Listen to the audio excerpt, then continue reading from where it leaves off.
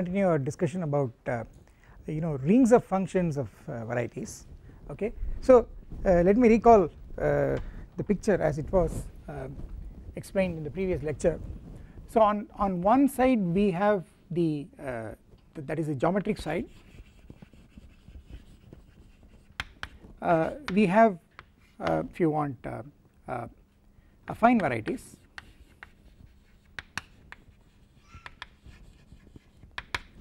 and on the on the commutative algebraic side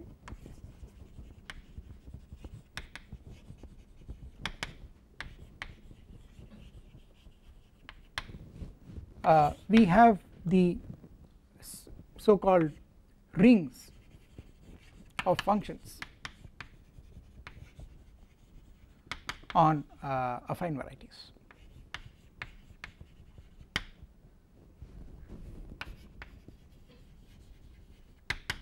So uh, let me recall. You see an, uh, an affine variety is supposed to be a closed irreducible closed subset of some affine space okay? And affine space is uh, of dimension n is just uh, kn k cross k cross k n times given the Zariski topology alright?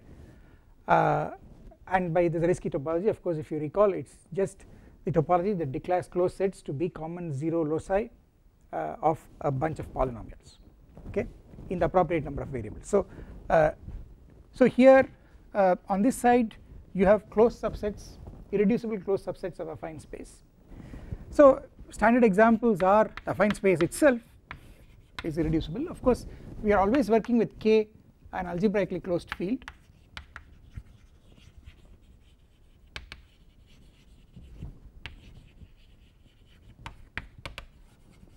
K is an algebraically closed field okay? If you give if you take the affine n space then uh, the the ring of functions uh, for uh, affine space is a of an which is the polynomial ring in n variables over k. Okay? So there so there is this uh, uh, there is this uh, association that takes to every affine variety its ring of functions and of course the functions we are interested in are polynomial functions right? And uh, more generally if you give me uh, a an uh, a closed uh, subset of uh, an affine space which is uh, also irreducible this is what a general affine variety is. A general affine variety is defined to be an irreducible closed subset of some affine space. And for such an irreducible closed subset what is the uh, ring of functions? The ring of functions is defined to be the ambient ring of functions. Ring of functions uh, sorry the uh, that is a ring of functions on the ambient space the largest space in which x sits namely the ring of functions on this divided by the ideal of uh, uh that subset. And the ideal of this subset uh, mind you is the ideal of functions namely the ideal of polynomials Uh, which vanish on all of x okay? And uh, you know that that is prime uh, because x is irreducible alright and therefore this quotient is an integral domain okay? Because you are going you are taking the polynomial ring and you are going modulo prime ideal okay? Basically you are going modulo prime ideal so the result the quotient is an integral domain. And you see this this closed uh, this irreducible closed subset here uh, shows up as a, as a quotient here this is a quotient. And this is just the go you are just going mod uh, the ideal of x okay? And uh, well see the, the point is that uh, uh, what is actually happening is uh, whatever is happening here is on the geometric side is an exact image of mirror image of what is happening here on the commutative algebraic side. And algebraic geometry derives from this translation basically okay? Uh, so that problems on geometric problems can be translated into commutative algebraic problems and vice versa. And you can, and a problem that you cannot solve here maybe you can solve it here and the other way around. Okay? So um, so the first thing I wanted to tell you is uh, uh, of course on this side it's affine varieties. On this side it's rings of functions on affine varieties. And I am saying that there is some kind of a bijection. So there is also a map that is going on this side about which I uh, I mentioned uh, the existence of but I did not tell you what it was in the last lecture. I would like to tell you what that is. And that is the uh, that is the so called max spec so I will come to that. Um, and these two put together will tell you that whatever is happening here uh, and uh, is exactly a mirror image of what is happening on this side okay? And uh, so Uh, let me recall. See for example uh, if you uh, have that x is a geometric hypersurface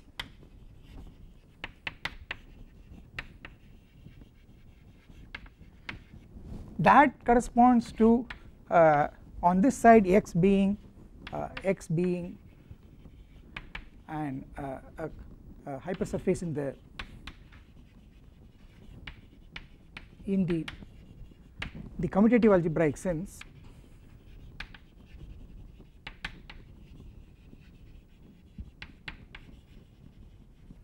okay? And in fact on this side I should not write x actually. I should write something about its ring of functions. And uh, the fact that x is a hypersurface in the commutative algebraic sense is the fact uh, uh, is that X is uh, uh, a hypersurface in the commutative algebraic sense is something that is defined by a single equation. So it is a locus defined by a single equation. And so I of x so the condition is I of x is generated by single polynomial f. And so x is just the 0 locus of single polynomial. And since I of x is prime okay it will force that f has to be an irreducible polynomial.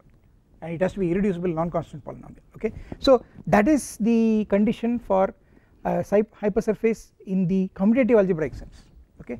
And x being a geometric hypersurface is what is the geometric meaning of being a hypersurface? The geometric meaning is via dimension. So uh, uh, it means that the dimension of x is actually uh, uh 1 less than the dimension of the uh, the ambient space the bigger space. So it's it's n minus 1 okay? Where n is the dimension of the larger space. And of course here by dimension I mean the topological dimension. Alright and we saw last time that these two are equivalent and that was basically uh, an application of uh, both the Krull's uh, Hauptidealsatz and uh, also um, the important theorem that you know and, uh, and uh, that a Noetherian integral domain is a UFD a unique factorization domain domain if and only if every ideal every prime ideal of height 1 is principal. Okay? So so you know for both these theorems we do need that the ring involved is noetherian okay? Krull's principal ideal theorem says that if you take a noetherian ring and you take an element f in a uh, in the noetherian ring which is not a unit and it's not and it's also not a zero divisor okay? Then uh, every minimal prime ideal that contains this element has height 1 okay? That's Krull's principal ideal theorem.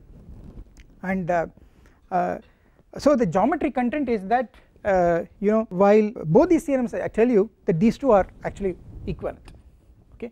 And uh, the other beautiful thing is that you can so you can ask the question of when the ring of functions on an affine variety is a unique factorization domain. And the answer to that is that you know you take any affine variety and look at its ring of functions. The condition that uh, it is a unique factorization domain is uh, equivalent to saying that every geometric uh, hypersurface in in that variety namely every codimension 1 irreducible subset is defined by a single equation. Okay? That is that is a geometry translation of the fact that every uh, uh, uh, prime ideal of height 1 is principal. Okay? The prime ideal of height 1 condition tells you that the dimension of your uh, locus goes down by 1 okay? It's that is it has codimension 1 it goes down by 1 from the dimension of the bigger space in which you are considering it okay? And so you know therefore uh, the geometric content is that if you have a unique factorization domain uh, I mean when when are uh, rings of for which affine varieties are the rings of functions unique factorization domains they are precisely the uh, affine varieties for which every uh, codimension 1 irreducible subset is defined by the locus of a single equation.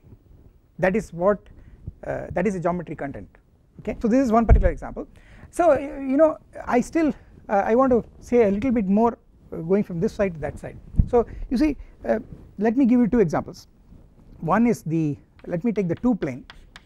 Okay? So the 2 plane uh, there are many avatars of the 2, two plane. So for example I can take uh, well I can look at a2 okay this is a 2 plane okay and if I look at the uh, corresponding uh, you know uh, uh, ring of functions I will get the, the a of a2k which is just k if you want x1 x2 okay it is a polynomial ring in two variables.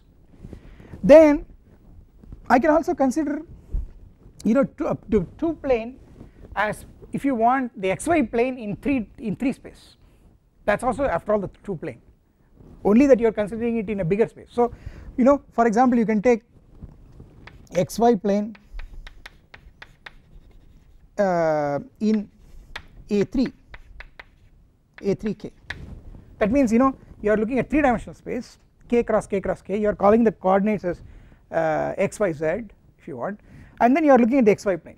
That is also uh, the plane 2 plane anyway. And if you look at the ring of functions on this you will get a of uh, you know uh, well let me uh, uh, let me write that. A of xy plane in 3 space. What am I going to get? I am going to get the ring of functions on a reducible closed subset is defined to be the ring of functions of the ambient space which in this case is the affine 3 space so it is a of a3 okay? Modulo the ideal of that irreducible subset okay? That is the definition. So it's it goes by model you have to go modulo the ideal of the xy plane. And if you see you see what this will give you is you will get a of a3 is of course k x y z because we uh, we agreed to call the the coordinates on this 3 plane as x y z okay? And it is xy plane you are interested in. And uh, what is the what are the functions that vanish on the xy plane? It is the z coordinate where z xy plane is simply written as z equal to 0 and so it is actually the ideal of xy plane the xy plane is just the ideal generated by z okay? And you, so it is it is the polynomial ring kxyz modulo z which is actually isomorphic to kxy okay so uh, and so you see if you watch these two are one and the same. Geometrically they are it is just the two plane. Here it is a two plane considered uh, as uh, as the whole space. And here is a two plane considered as the xy plane. Okay? And see what is happening. On this side what you get is these two are isomorphic. You get that the ring of functions are isomorphic this is also a polynomial ring in two variables. That is also a polynomial ring in two variables. So they are isomorphic. Okay? So so let me give you one more example. In fact let me take uh, uh, more generally you can take some plane uh, a more general plane in in n space. Okay? If you take a, a, a 2 plane in an okay and if you associate to it the ring of functions a of the 2 plane uh, uh, plane uh, in n space okay what will happen is you will still find that it is still isomorphic to the polynomial ring in two variables. It will happen. So what what is it that I am trying to say? I am trying to say uh, that that geometrically you are looking only at the two plane whether you are looking at the two plane completely the two plane itself or whether it is embedded as a as the as a plane in 3 space or whether it is embedded as a plane in n n space. No matter how you look at it this definition of the affine coordinate ring uh, the ring of functions uh, on an affine variety this definition gives you isomorphic rings. It does not give you something different. And the fact that you all the three cases give you up to isomorphism the same ring is an indication of the fact that you are looking at the same geometric object. You are looking at only the plane. Okay. So the moral of the story is that the ring of functions okay is go is it really captures the object that you that you uh, that you are looking at. It is not going to change just because it is not going to distinguish between uh, a 2 plane in 3 space or a 2 plane in n space because a 2 plane is always a 2 plane. There is nothing different geometrically about it. The only thing is the way it is embedded. Right. So the moral of the story is this is this gives you one uh, rationale as to why we should study rings of functions. The ring of functions uh, is a geometric geometrically it's, it's an intrinsic uh, object. When you take a, an affine variety. Okay? Intrinsic means up to isomorphism it depends only on the affine variety not on where you see it. Okay? So that is one of the justifications of studying rings of functions on affine varieties. So I should I should uh, now tell you that you know there is another common name in the literature. Uh, people also use the word coordinate affine coordinate ring. Okay? So people instead of saying rings of functions on affine varieties people people just use the word affine coordinate ring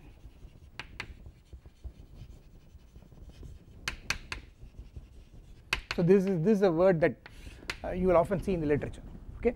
So the the moral of the story is that uh, so you see so you can expect what does this isomorphism here correspond to here? What it's telling you is you know you should expect that this should be isomorphic to this and this should be isomorphic to this. And this isomorphism as varieties as affine varieties is precisely what is getting translated on that side as isomorphisms of their affine coordinate rings. That is what you should expect. And that is exactly what happens. In fact uh, this uh, uh, this association is actually an equivalence okay? I will tell you uh, how it is an equivalence how strong it is on this side if you put uh, if you take only isomorphism classes of affine varieties okay then on this side you should put isomorphism classes of such rings affine coordinate rings okay. Then this is a bijective uh, uh, association. Because if you change the affine variety up to isomorphism then its affine coordinate ring will also change only up to isomorphism okay. That is one point then the other point is if anything that you that uh, that happens on this side has a meaning on that side. So a closed subvariety corresponds to a quotient okay? Suppose I do not uh, take the set of isomorphism classes of affine varieties on this side and there also I do not take the set of uh, isomorphism classes of affine coordinate rings okay? Then if you give me a closed uh, subvariety like this this closed subvariety will automatically correspond to a quotient. So you see this closed something being a closed subset of the irreducible closed subset of, the, of another thing that will this is called a closed immersion. Okay the word used is a closed immersion. Some affine variety being thought of as a closed irreducible subset of some other affine variety. Okay this closed immersion reflects on this side as a quotient. Okay so quotients here correspond to closed immersions. Okay it does not stop there. Uh, isomorphisms here correspond to isomorphisms there. That is exactly what we saw here okay? More what do open subsets correspond to? Okay? The beautiful answer is open subsets here will also correspond to ring homomorphisms here.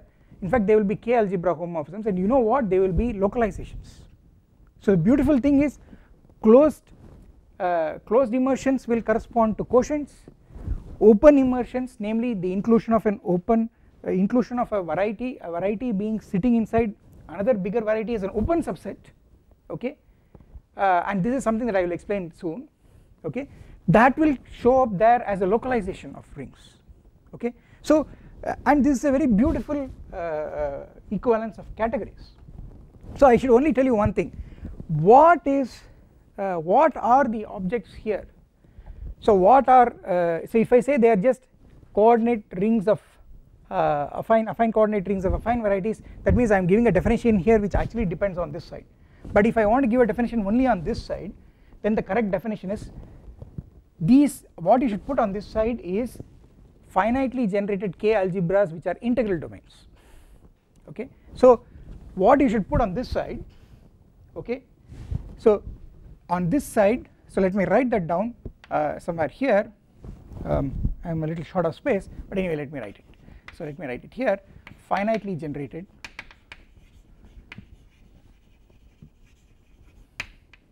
K algebras which are integral domains.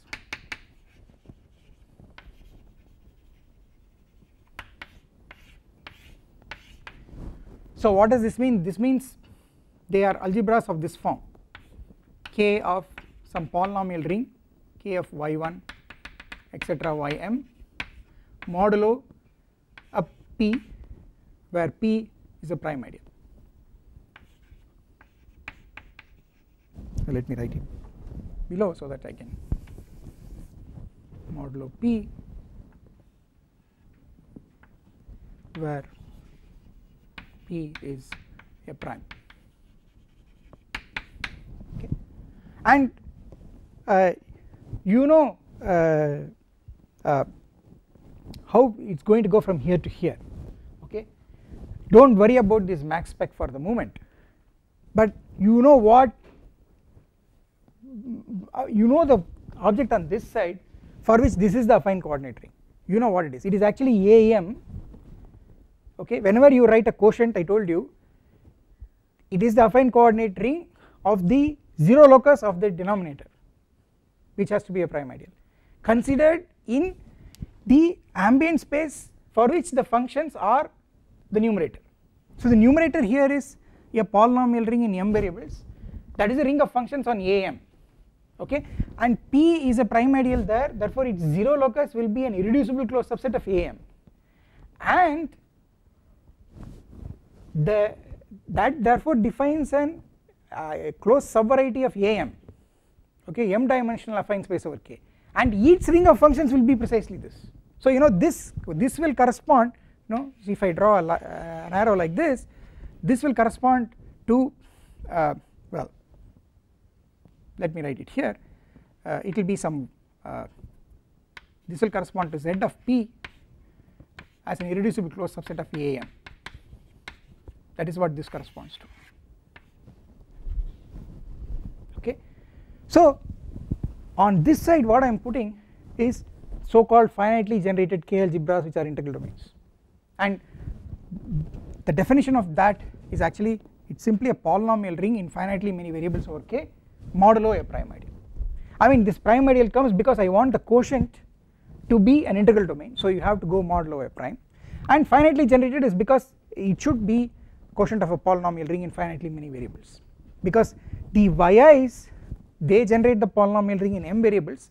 Therefore their images in the quotient namely the yi bars okay the cosets yi plus p which are the yi bars in the quotient ring they will generate the quotient ring as a as an algebra over k okay. So that is why this is a finitely generated algebra over k which is an integral domain. And conversely every such algebra is defined to be something like this okay so so so what I am trying to say is we have an equivalence of actually categories. Okay we have an equivalence of categories. On this side you have affine varieties and morphisms between affine varieties. On that side you have these finitely generated k algebras which are integral domains and the morphisms are k algebra homomorphisms. And it's a it is an equivalence of categories. Okay I will explain all these things uh, soon. But there is one thing I should say at the outset. I have been saying morphisms I, I said isomorphisms of varieties. I said morphisms of varieties. So that is something that I have to define. I have to define what is uh, a morphism between one morphism from one variety to another. Okay? So that is going to come very soon. But I am saying that this is the uh, general picture in which you get a complete equivalence of categories. And uh, that in that sense everything that's that you see here is actually a mirror image of that and and vice versa. Okay? So all this tells you that uh, studying the studying the affine uh, affine coordinate ring the ring of functions on affine variety is a very important thing because that captures everything okay?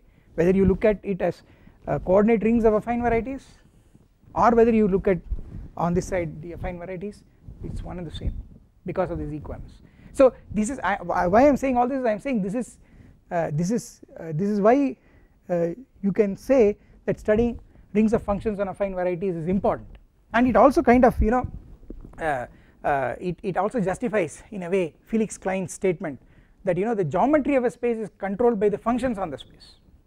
Okay? So you know somehow these functions they control the geometry. Mind you we had only affine n space which came from kn. And all we normally know about kn is only it's an n time only that it's an n dimensional vector space over k but we forgot the vector space structure. And the geometry came in by looking at polynomial functions and using them to define the Zariski topology. So you see the even the topology on this side was gotten by functions on that side. You must understand and the beauty is the functions on this side completely capture the topology. Okay? They in fact not only the topology the, the most deepest statement is that everything the functions on this side completely capture the geometry on this side. So geometry at the at the lowest level is the topology. Then the next level is more deeper properties like manifold theoretic properties smoothness regularity and things like that. Okay? So everything on this side geometric side is captured by the the commutative algebra which is the ring of functions. Okay? So this all this is to tell you why it's so important to do to study rings of functions. Okay? So I will elaborate on all this or uh, whatever I said very soon. But now what we will do is uh, I wanted to um, you know um, okay so let me tell you about this this max spec thing. So let let me uh, explain this max spec uh, that is the arrow that goes from this side to that side. Alright so uh, um, so you know uh, so let me again repeat uh, the following thing.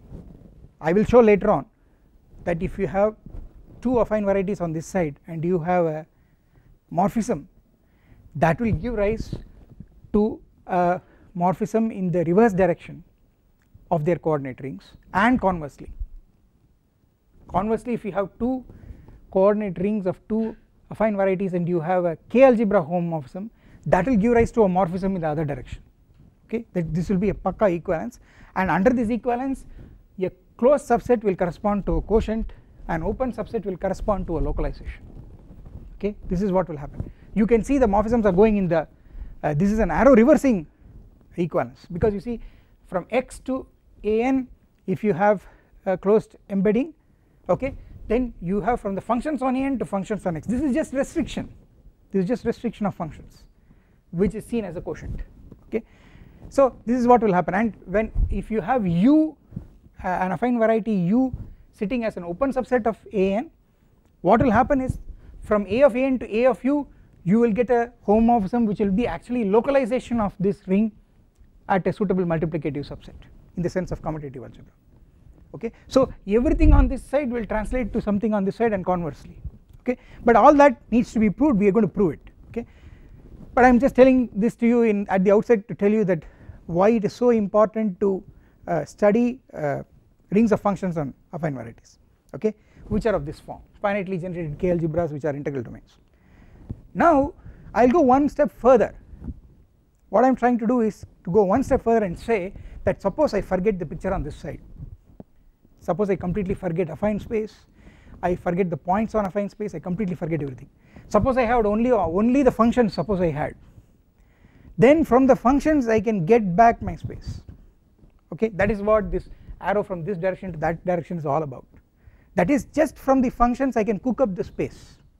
That means the whole space is already here in the functions okay? And that is a much stronger uh, proof uh, of the veracity of the statement of Felix Klein that the geometry of the space is not only so you know what he said is geometry of a space is controlled by the functions on the space.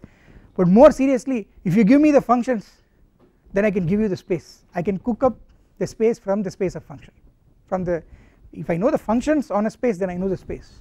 I can construct the space from its functions okay? It is a very very deep thing.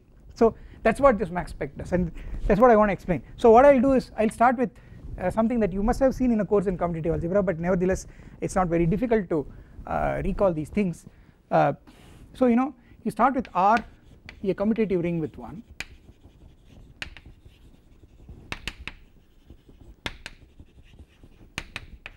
So what you do is uh, you, you look at spec R this is called the spectrum of R. Uh, uh, in fact it is called sometimes it is also called the prime more explicitly as the prime spectrum of R. And this is supposed to be the set of all prime ideals in R. Okay.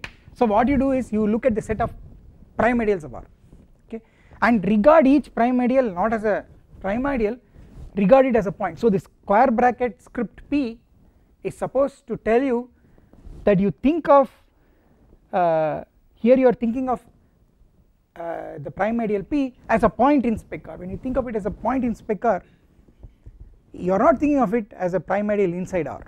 You are thinking of it as a point on a space. Okay. So the spectrum is just the points which correspond to prime ideals okay? And then so you should not confuse this with uh, equivalence class because normally you know you put a square bracket around an element to say that it is equivalence class of that element. So you should not confuse it with that. There is no equivalence class.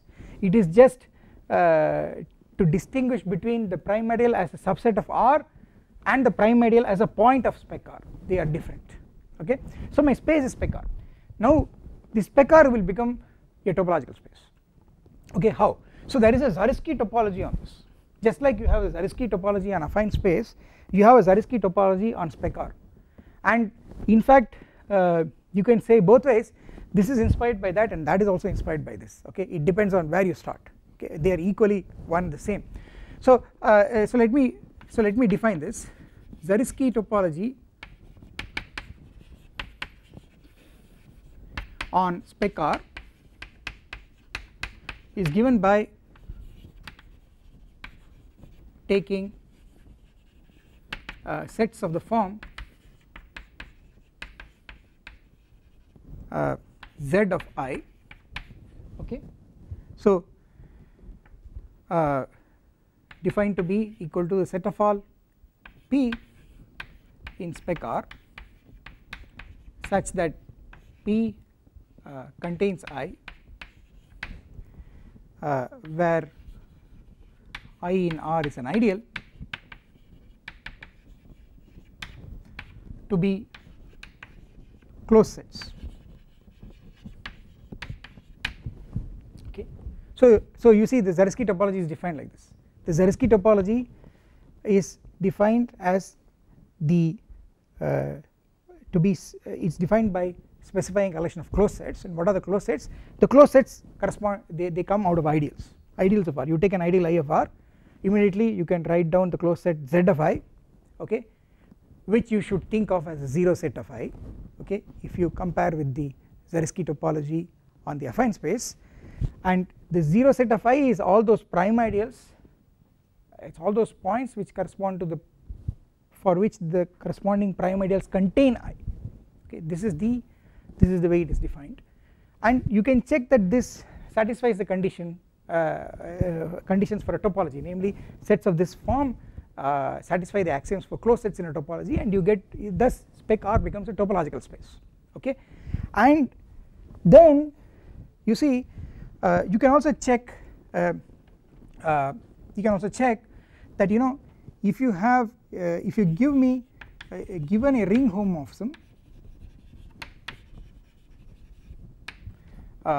f from R1 to R2 okay so R1 and R2 are commutative rings with 1 and F is a ring homomorphism from R1 and R2 uh, then uh, the the map spec F going from spec R2 to spec R1 which is given by give me a prime ideal of uh, R2 and simply send it to its inverse image which is a prime ideal of R1 okay.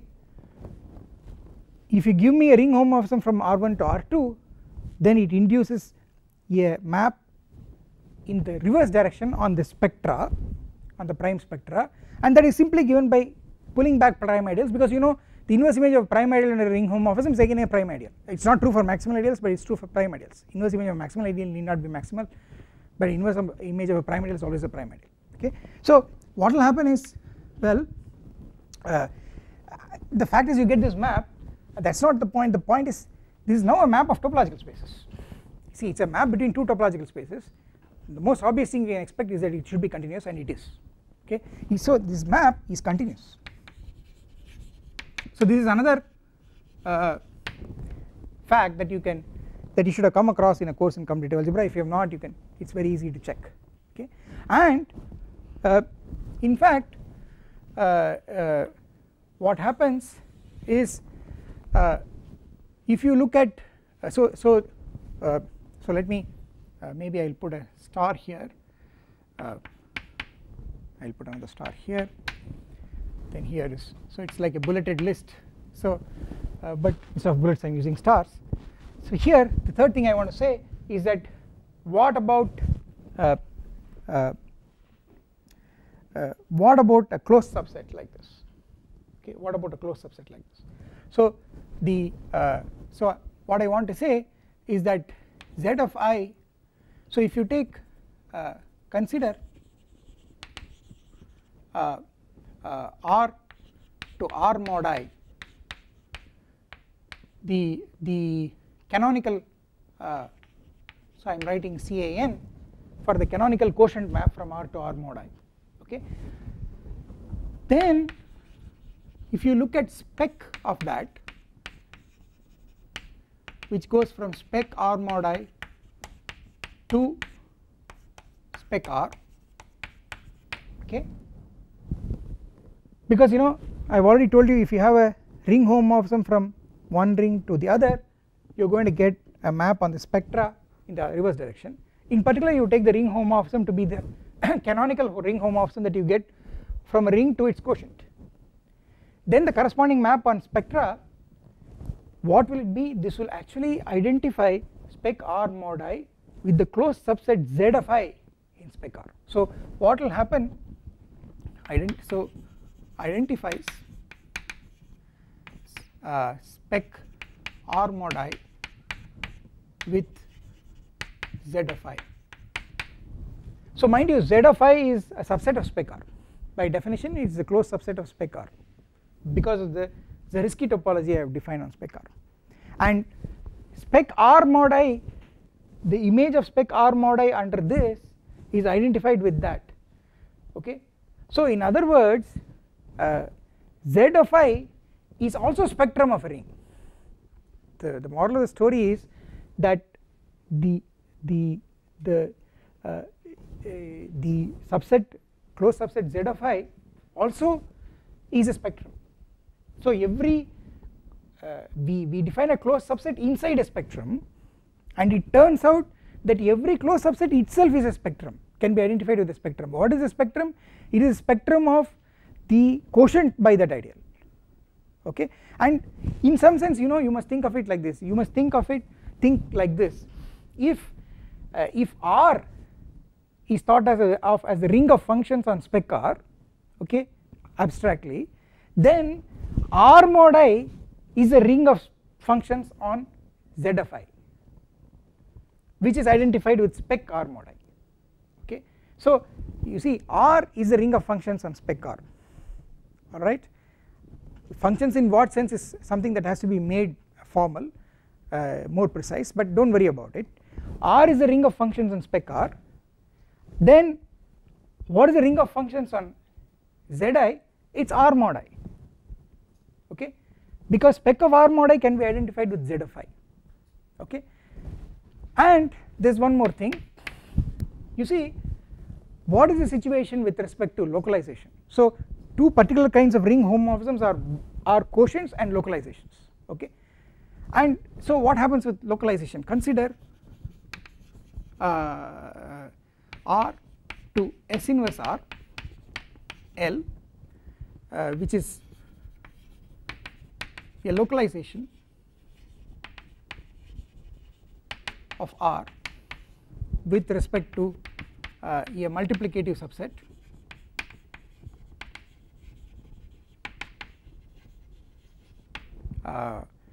S inside R. So if you remember in commutative algebra given a ring R we define what is meant by a multiplicative subset. A multiplicative subset is a subset which does not contain 0 and which for which uh, which is closed under multiplication. So if there are two elements in that set then their product is also in that set okay? And uh, and we can in commutative algebra form the localization of R with respect to the multiplicative subsets which is just inverting the elements of the multiplicative subset. So S inverse R which is the localization of uh, multiplication uh, localization by the multiplicative sub subset sometimes it is also written as R uh, bracket S inverse okay. So it can be thought of as a polynomial uh, it, it can be thought of as polynomial uh, ring in R in as many variables uh, given by reciprocals of elements of S modulo the natural relations that come because of the elements of S being inside R okay? And uh, that is the reason why one writes it uh, writes S inverse R as R square bracket S inverse. But essentially it means that you are just inverting S. So you know the simplest case is if you take R to be for example if you take R to be integers and you take S to be the complement of uh, the complement of 0 okay? Then S inverse R will just be rational numbers more generally if you take an if R is an integral domain and S is the complement of 0 which is a prime ideal okay the complement of a prime ideal is always a, a multiplicative subset and localization by that is always going to give you uh, a localization. And in this case uh, complement of 0 if you localize an integral domain at 0 at the complement of 0 then you are going to invert that means you are inverting everything outside uh, which is different from 0 and that means you are forming the field of fractions. So forming the field of fractions is a very special case of localization. Localization is a generalization of that you would have seen this in commutative algebra but the fact is that if you take this localization map okay then what does it correspond to in the spectrum at the level of the spectrum? Then uh, spec L will go from spec S inverse R to spec R okay? You will get this map. Let me let me take a particular case. Put for example S to be uh, just the multiplicative subset given by a single element R R squared where uh, R is in R is uh, uh, uh, not nilpotent okay? I do not I, I want R to be the element R in R small r in capital R to be nilpotent because I do not want some power of it to be 0 if some power of it is 0 then the multiplicative set contains 0 and I do not want 0 in the multiplicative set. There are some books which say that uh, 0 is allowed in the multiplicative set but then the convention is that the localization becomes a 0 ring and nobody wants to study the 0 ring for as far as geometry is concerned. So we always never want uh, 0 to come inside the multiplicative set. That is the reason why I do not want small r to be nilpotent okay? And then uh, in that case uh, uh, uh, we normally write S inverse r as r localized at small r. Okay? Uh, we also write it as r bracket small r inverse. Some people write as r of 1 by r. Okay? These are various notations. Okay? And the fact is spec and spec of uh, if you calculate spec of RR what you will get is you will simply get all those prime ideals the points corresponding to prime ideals such that the prime ideal does not contain small r. Okay? And this this uh, so you will get this identification. Okay? And this is just complement of z of z of r in spec r. So you see spec r uh, has a Zariski topology as I have explained and then there is the ideal generated by small r okay? It is ideal generated by single element r. And you take the 0 set of that ideal. What is what is the 0 set of that ideal? By definition it is all those prime ideals which contain the ideal r. But a prime ideal contains the ideal generated by r if and only if it contains r itself. So this is uh, uh z of r precisely uh, has for its points those prime ideals which contain small r. And what is the complement? It is all those prime ideals which do not contain points corresponding to prime ideals which do not contain small r. And that is precisely spec RR R. Capital R sub small r. And and how do you get this identification? This identification is provided by this map. The image of this map the image of spec L in this case identifies spec of S inverse R with uh, this this subset which is an open subset of uh, of spec R. Okay? Because it's a complement of a closed set so the moral of the story is you know the ring of functions on uh, the complement uh, of the locus defined by a single element okay? Namely the ring of functions on the locus where a single element does not vanish is precisely localization by that element okay? Which is uh, if you think of small r you know if you think of small r as an element of capital R and if you think of R as the ring of functions on spec R then small r is a particular function. And what is z of r? You should think of z of r as the locus where r small r vanishes. Okay? And what is its complement? Its complement is should be the locus where small r does not vanish. But where small r does not vanish if small r is a function that does not vanish 1 by small r should also be a valid function so it in other words it tells you that in this locus where small r does not vanish which is an open set the functions are simply given by r of 1 by small r. Namely its the functions are of the form some function of some element of r divided by some power of small r which is intuitively correct. And in fact uh, uh, you get it here. Okay? So uh, so this so this uh, this identification is via L in this case. So the moral of the story is the ring of functions uh, corresponding to a closed subset is given by uh, corresponding to a closed subset given by an ideal is given by the quotient ring. And the ring of functions corresponding to an open subset a so called basic open subset where a function does not vanish is simply given by inverting that function. That is what it says. Okay. So this is a this is the background in uh, this is the background from commutative algebra okay?